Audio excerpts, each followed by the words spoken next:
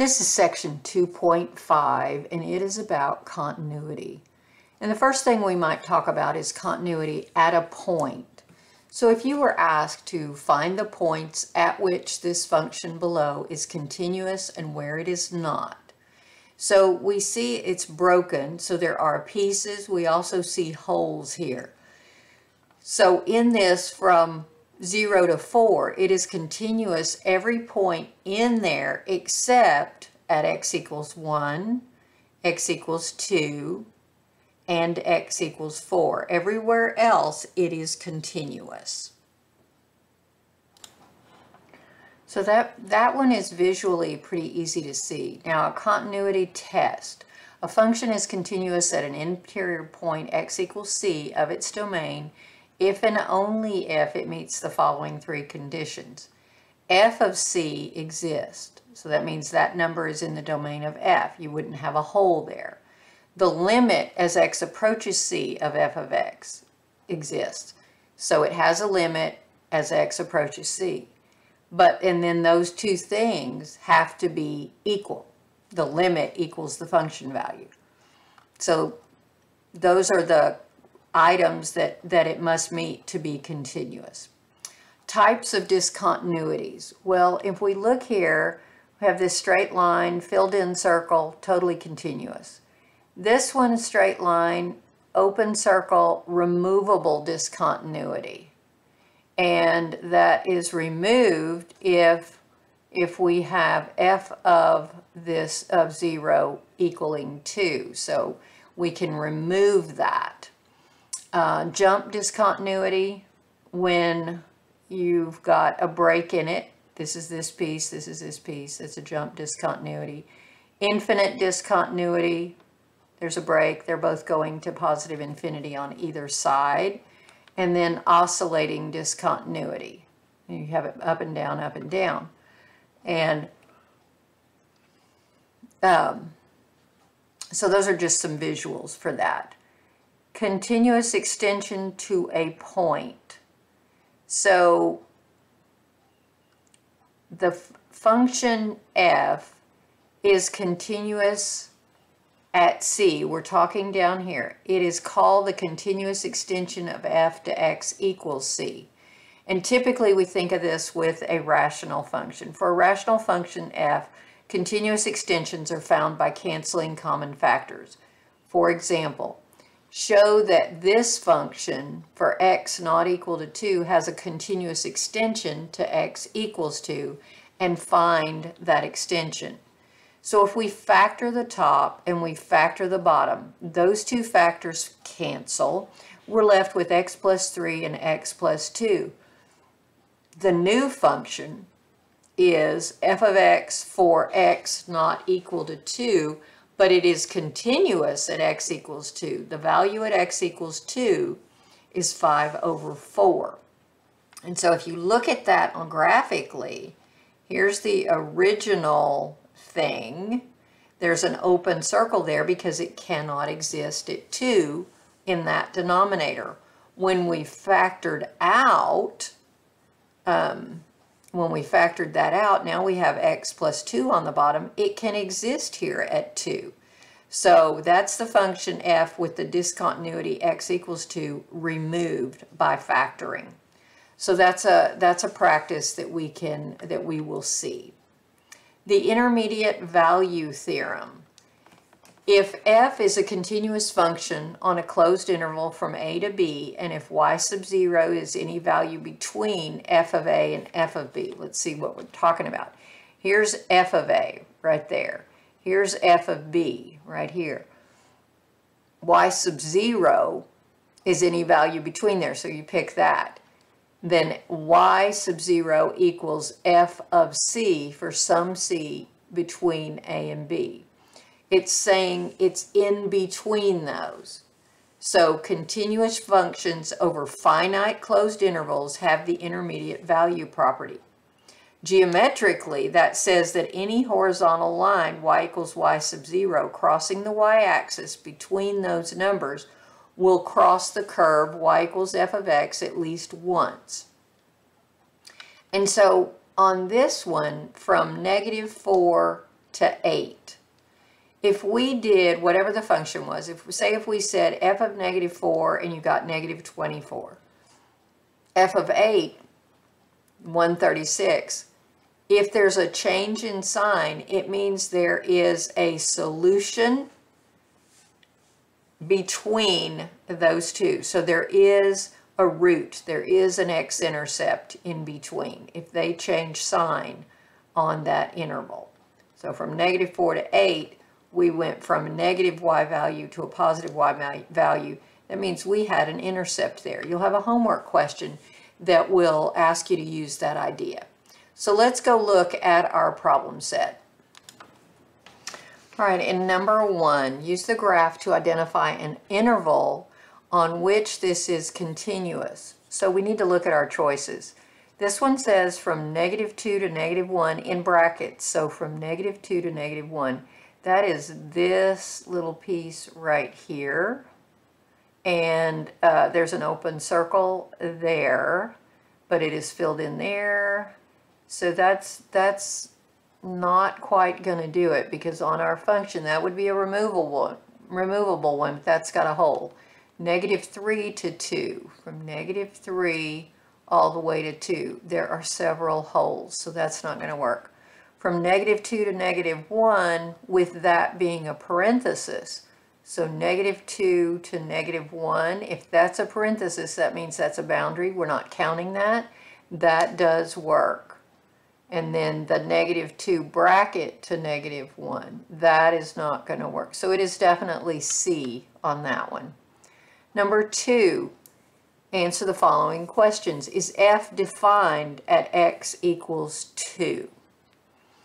At x equals 2, we have a hole. It is not defined there. Is it continuous at x equals 2? No, there's a hole. So no, that is not continuous there. Number three, use the graph to answer the question about discontinuity. Select the correct description of the continuity of f of x at x equals negative 2. So we've got x equals negative 2. There is a discontinuity that can be removed by defining f of negative 2 to be 0. Well, if we said f of negative 2 was 0, then that hole would be filled in. If we define, let's see, if we defined f of negative 2 to equal negative 2. Well, that's not going to do it because that would put just put a black dot down here. There's a non-removable discontinuity because f of x is not defined at x equals negative 2. Well, you could remove it if you defined f of negative 2 to be 0 because it would close in that circle. All right, at what points in the function is the function continuous? Well, the issue would be down here on the denominator. So you take that, you set it equal to zero, factor, that factors nicely, and so you find that x is 4 and x is 2. So those are the places where it doesn't exist. So we have to put that in interval notation from negative infinity up to 2, close, have a u, then from 2 to 4, and then from 4 to infinity. That says it's continuous everywhere except at the points 2 and 4. And then that's why we have the parentheses there. Number 5. So number 5 says, at what points is this continuous? Well, you have a denominator of 5x. If we set that equal to 0, we find that the point of discontinuity is at x equals 0. So to put that in interval notation, it would be negative infinity to 0, parentheses, 0 to infinity. I didn't put the u in there. Let me see if I can put that in real quick. Okay, so um, that's the only point of discontinuity. Is Number six, is the function continuous at the point being approached? The limit as t approaches zero of cosine of this. And so uh, we're approaching zero. So let's see if we can direct substitute. And if we put zero in for t, we get secant of zero. Remember that secant is uh, reciprocal to cosine, and cosine of 0 is 1. So 1 over 1 is still going to be 1. So under here you've got square root of 17 minus 1, which is square root of 16. So you've got pi over the square root of 16. And this is cosine of that. So that's cosine of pi over 4. And the cosine of pi over 4 is square root of 2 over 2. If you, um, if you don't rationalize it, which the answer lets you put it here, I don't usually, I usually rationalize my denominators. If you rationalize it, you get this, but it looks like they might take it as 1 over the square root of 2 and that is continuous at t equals zero. So there's no there's no issue there. We could uh, it's defined there for x equals zero.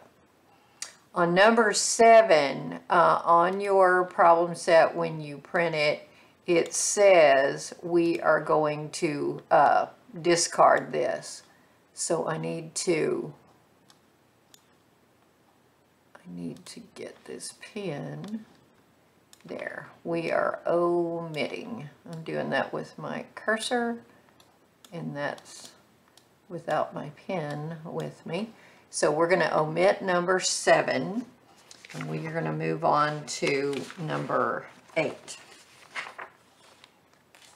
And you don't have seven in your homework. So eight says use the intermediate value theorem to determine the following equation has a solution or not. If so, using a graphing calculator or computer grapher to solve the equation.